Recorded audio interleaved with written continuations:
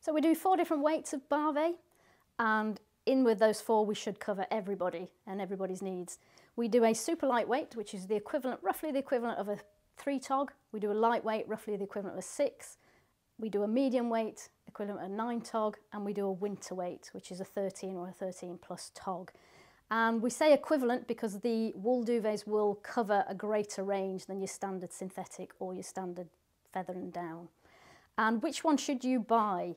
Well, the super lightweight, some people will use that all year round, depending on your own circumstances, how warm your house is. But generally the super lightweight is for those warmer months of the year or for people who really, really suffer with heat, overheating in bed, or people who just live in extremely well insulated, well heated houses. And then we come up to the lightweight, which is a good all year round for a lot of people. Um, then the medium weight, equally a good all rounder. And we do tend to sell more of the light and the medium weight. And then finally the winter weight, and we would only recommend the winter weight for people who really do feel the cold or those friends who live north of the border and have slightly colder weather than the rest of us. Um, so there's something out there for everybody. If you're not quite sure, ask the question.